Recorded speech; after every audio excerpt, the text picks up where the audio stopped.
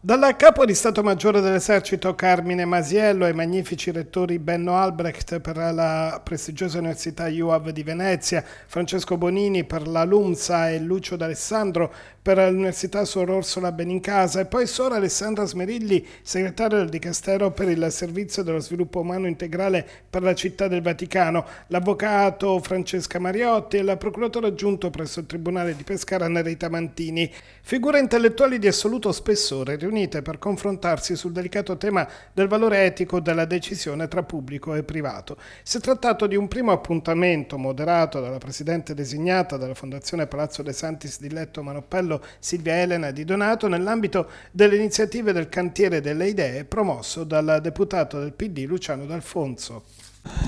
Luciano D'Alfonso, in un'epoca in cui si prendono purtroppo tante decisioni sbagliate, la qualità della decisione deve essere generativa e costruttiva, in che senso?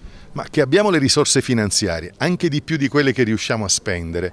Quello che non si riesce a comporre è risorse finanziarie, conoscenza dei problemi della realtà, competenza, motivazione e capacità di porsi la domanda, ma dopo che accade? Quanto dura quella soluzione? Quanto costa? Quanto toglie e quanto sottrae? Ecco, su questo io vedo una debolezza di cultura generale che anche le università dovremmo assumere su di sé affinché mai più si faccia questa valutazione errata, minimalista, sottrattiva.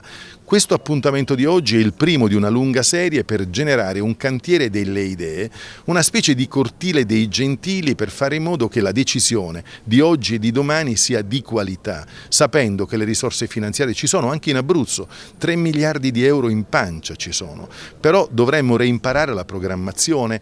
Su Alessandra Smerilli si parla del valore etico, del decidere, in un'epoca in cui si ha quasi paura uh, a fare le cose, no?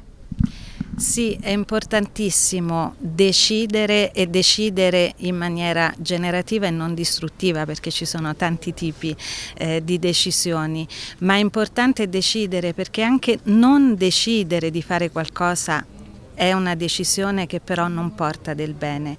Chiaramente decidere vuol dire scontentare qualcuno, eh, ma se non si corre questo rischio non ci saranno mai dei cambiamenti e allora il valore etico della decisione è anche eh, decidere per il bene e decidere per il bene vuol dire non andare avanti da soli ma eh, lavorare eh, in gruppo, in squadra, in modo eh, che sia più semplice capire che quella è la strada che dobbiamo percorrere.